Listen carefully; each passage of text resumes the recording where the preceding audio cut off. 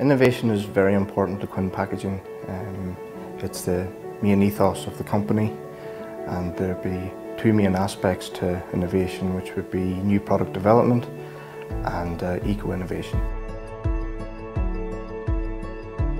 We provide solutions to a wide range of different markets.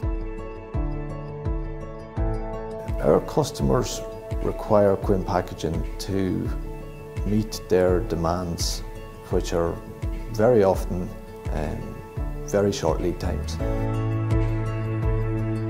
One of our customers will typically come to us and need uh, a new product developed very quickly. We can have product designed, manufactured and delivered to our customer in as little as four weeks from receipt of concept design. Customers stay with Quinn Packaging because we produce high quality products on time at a competitive price.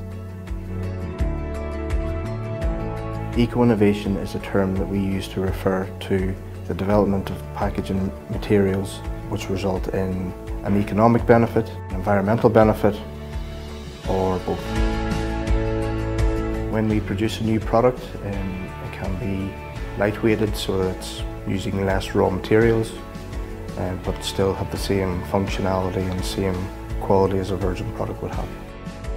When we enter a new market, our philosophy is generally to enter it in quite a large scale manner so that we can provide a new customer a full range of products so that they can actually move all of their supply to Quinn Packaging.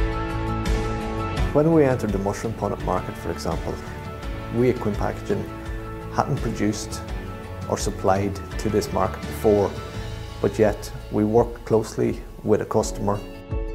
We went through the new product development for all of the different shapes required.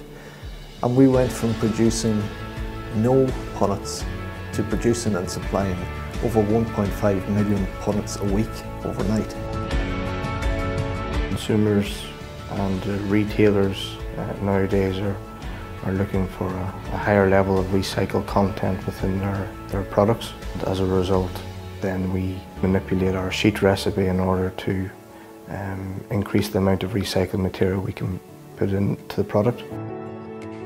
Our customers are happy when they receive the packaging, they open the pallets and they see product that we've brought to life. I'm happy when I see product on retailer shelves that a number of weeks ago were simply a sketch or an idea or part of a discussion.